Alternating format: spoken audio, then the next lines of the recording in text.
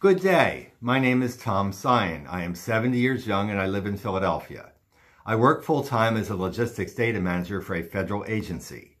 I also volunteer for the National Multiple Sclerosis Society at their various outdoor fundraising events. These include walkathons, mud runs, and bike tours. I live with intractable chronic cluster headache disease, migraine disease, and fibromyalgia. I have lived with headache pain for over 50 years. Diamond Headache Clinic is my provider. Their team diagnosed me properly and prescribed high flow oxygen therapy, which has helped me with the daily clusters. Nothing has ever helped reduce the pain of migraine.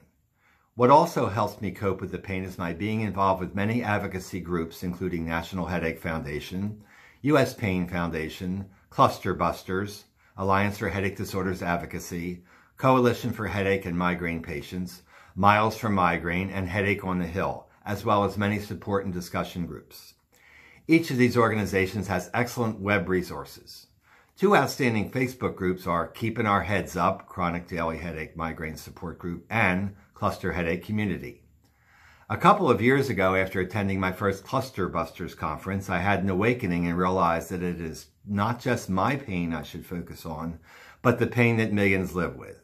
This jump-started my advocacy efforts and made me decide to do my part to help reduce the stigma that comes with chronic pain and to help those that live with pain feel less isolated.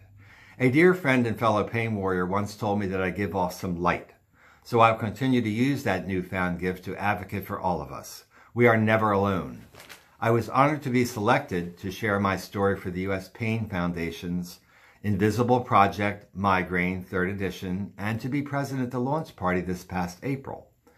I believe that sharing my story inspires those living with pain as well as educating the general public. Recently, I have found that practicing deep breathing and mindfulness has reduced my pain level somewhat and it gives me a sense of peace.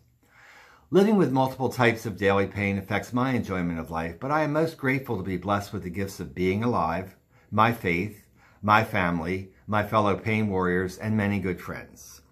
I want to thank Nicole at the U.S. Pain Foundation for inviting me to participate in Storyathon, which will lead us into Pain Awareness Month of